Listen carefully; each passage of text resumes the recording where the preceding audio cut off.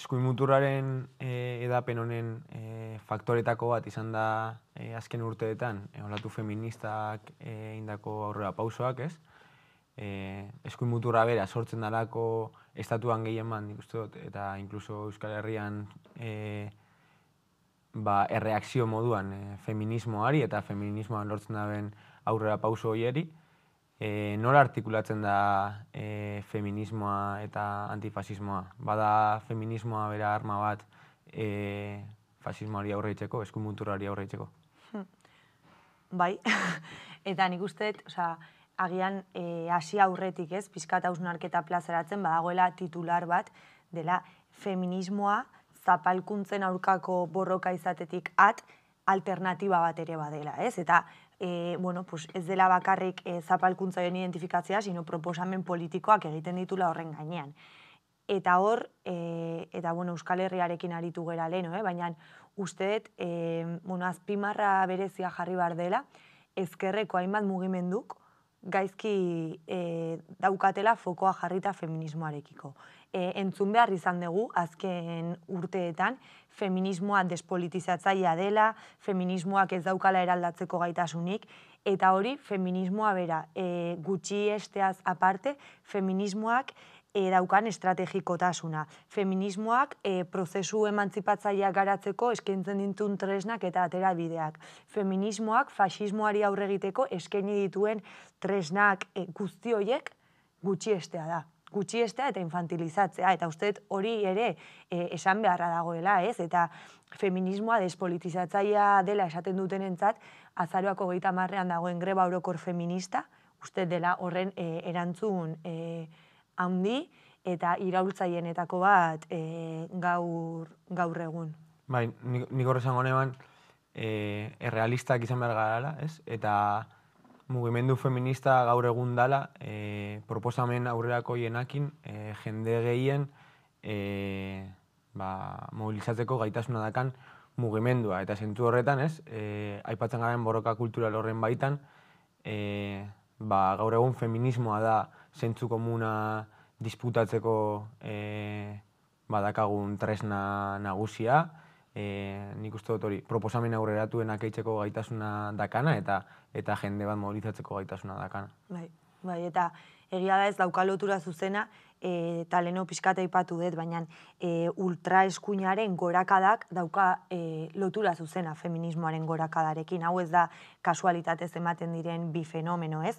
E, feminismoak maigaineratu ditu e, egoteko moduak, harreman ereduak, familia eredu nuklearraren e, inguruko gogo eta gizarte egiturak berak zalantzan jarri ditu privilegioen inguruan e intersekzionalitatea mai gaineratu du ez eta proposamen politiko guzti horiek egiten zituen enean eskuinak bere burua arriskuan ikusi du. Bera, bera, oza, goitik bera interpelatzen dutelako, ez? Eta orduan, erreakzioa izan da asko handiagoa eta izan da askoz bortitzagoa. Eta agian, e, bueno, uste esan beharra dagoela ere, hau ez dela bakarrik eskuin antolatutik ematen den fenomeno bat.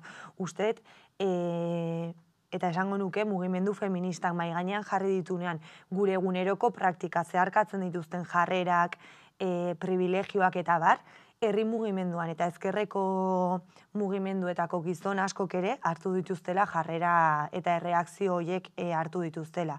Eta erreakzio horiek e, datoz patriarkatua bera, feminismoak e, bueno, esaten duenetikan edo egiten duenean patriarkatuaren gogo eta bat jende batek bere burua arriskuan ikusten du. Eta bere buruan segurtasun ez bat ikusten du bere privilegioa galtzeko eta ordan gizon askok eta gure inguruan dauden gizon askok erreakzionatzen dute, ez? Horregatik esan nuen ez dela soilik e, eskuinean antolatua dagoen edo eskuinean eskuin antolatuan ematen den e, fenomeno bat erre, erreakzio horrena, ez? Eta e, bereziki feminismoak erdigunean jartzen ditunean e, emakumeak, ez? E, eta hegemonikoak ez diren e, gorputzak, e, claro, gizarte patriarkalaren egitura bera zalantzan jartzen da.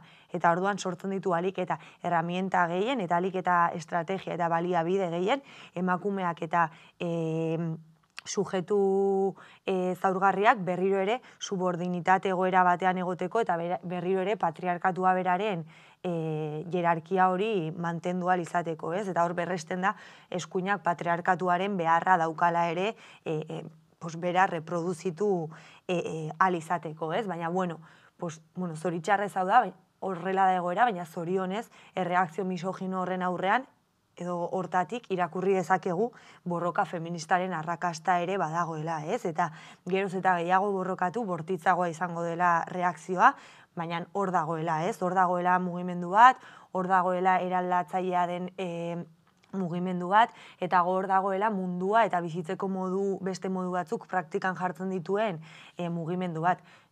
Zer esanik ez, ez daukatenak zer ikusirik, ero inkompatibleak direnak e, eskuinarekin, ez? Baina, bueno, egia ezin dugu ulertu ere bat eta bakarra izango balitz bezala. Hau da, en, mugimendu feministak mai gainean jarri dituen aldarriak eta fasismoak ere formak aldatu ditu. Forma aldatzen joan dira, e, eraldaketa prozesuak aldatzen joan dira, eta hor ere eskuinak bueno, pues reakzionatzen jakin izan du, ez? Eta neoliberalismoarekin ere bueno, jakin izan da e, irakurtzen feminismoak zeukan potentzialitatea. Eta iritsi da momentu bat nun haien buruari esleitu dioten ere, feminismoaren e, bandera eukial izatea, ez? Eta, bueno, feminismoaren txuriketa bat e, ematea, ulertuta potentzialitatea dela, wow, izugarria, ez? Orduan, bueno, pues saiatuko dira, eskuina saiatzen ari da, diskurtso e, feministak haien alde politizatzen, saiatzen ari da diskurtso urratzaile sakonak egiten, baina, bueno, honen aurrean ere badago e, mugimendu feminista e, antolatu bat, ez? Eta antolatu bat, eta... E, bueno, argi eukita zeinen e, estrategia eta zeintzu diren ere helburuak eta moldatzen jun behar den zerbait dela, ziklikoa dela, orduan, bueno, ba, egunean egun ere dauden beharrei estrategia berriekin erantzuteko gaitasuna daukan mugimendu bat da, ez? Eta hori, ustez bai dela oso garrantzitsua jakitea egoera bera irakurtzen, testu inguru aztertzen eta testu inguru hori eraldatzeko eta beste modu batera egiteko e, proposamenak e, gauzatzea, ez? Eta bueno, leheno zuk botatzen zenunetik, eh? baina Euskal Herrira ekarrita, leheno aipatu bezala, amar urte hauetan egon da sekulako latu feminista, e, bueno, geroz eta jende gehiago politizatzen ari da feminismoarekin, e, intu, e, instituzioetan ere gehiago ari dira politika feminista gauzatzen espazio batzuetatik eta besteetatik, bueno, badago horrez, mugimendu bat. Eta greba orokor feministak jartzen digu hor, erakusleio bat, ulertzeko feminismoa, e, eta esango nuke abertzaletasunarekin batera Euskal Herrian nazio ikuspegi batetik egiten badegu, direla gaur gaurko dauzkagun tresna eraginkor eta estrategikoenak eskuinari aurre egiteko, ez?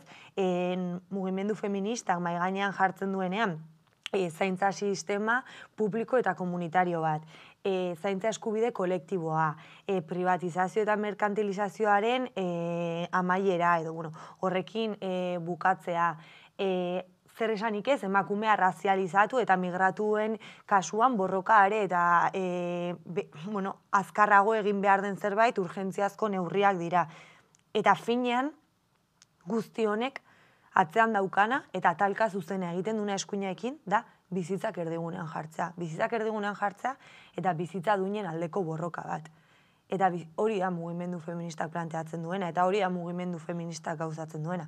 Eta hori da eskuinarekin une oro e, jotzen eta talka zuzena sortzen duen e, egiteko, egoteko eta e, sort, bai, sortzeko modua, ez? Orduan, bueno, usteet badago e, reakzio bat, reakzio hori irakurtzen jakin behar da, oso desberdina izan delako e, testu inguru bakoitzean, e, estatu bakoitzean, lurralde bakoitzean, baina badago ere mugimendu feminista antolatu bat, dakiena hori irakurtzen eta dakiena proposamen politikoak e, mai gaineratzen, benetan eraldaketa prozesu baterako eta benetan denon den denon bizitzak erdigunean jartzeko, ez? Bai, inkluso aipatzen genduen pesimismo horren aurrean, ez? E, badaka gaitasuna e, alternatiba bat e, irudikatzeko, beste gizarte eredu bat e, proposatzeko, ez? E, zaintzan oinarritua dagoena, eta eta hori, ez? Alternatibarik ez dagoen ideia horren aurrean, ba, ba benetako alternatiba proposatzeko gaitasuna duena, ez? Bai, bai, eta igual, bukatzeko, e, uste dut ez, como, eta ez nahi sartuko arrazoiaren arteko debatean, baina, bueno, askotan e, irakurtzen da oso arrazionalitatetik guztia, eta uste dut emozioetik eta subjetibitatetik ere baduela, ez, badu feminismoak, eta hau politizatu behar degula guk ere, ez, eta badago esaldi bat esaten duena, egun batean bizitzakain gogor jo ninduen non aurre egiten irakatsi zidan. Eta uste hori dela, hori dela osa, gorpuzten gaituena, hori da zeharkatzen gaituena, eta seguraski eukiko egongo da eskuina antolatua e, reakzionatuko du, baina feminismoak daukan altxorra handienetako bat, esango nuke, dela feministok badakigula orbain historikoak borroka kolektibo fisiko bihurtzen. Eta ez dago gaur gaurkoz hori baina gauza iraultzaiagorik, nik uste.